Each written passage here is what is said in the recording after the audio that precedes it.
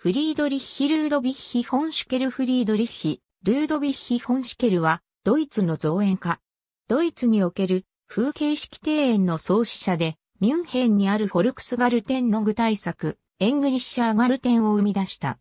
家柄は、祖父以来の宮廷庭園師で、父は、バイルブルク領主の庭師から、ファルツ港に仕え、フリードリッヒは、シュベッツィンゲミや、ブルックザールで、造園技術を習得したとされる。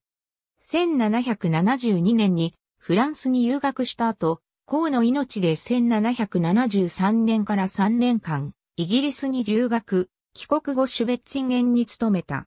1775年には、アシャッフェンブルクのシェーンブッシュ公園などの改造を手掛ける。しばらくはニンフェンブルク宮殿庭園などロマン派的と古典主義が混合した庭を多く計画し、後にミュンヘンに移る。1789年、選定校、カール・テオドラの成長のミュンヘン移転に伴い、領地の一部開放が布告され、これを市民休養娯楽地として計画すべく、アメリカ合衆国からベンジャミン・トンプソンを招聘、現地のシケルと共に計画設計に着手する。こうして同年、エングリッシャーガルデンが建設された。その後もシュケルは各地で多くの庭園を計画しているが、1812年には庭園に関する指導者を出版してもいる。ありがとうございます。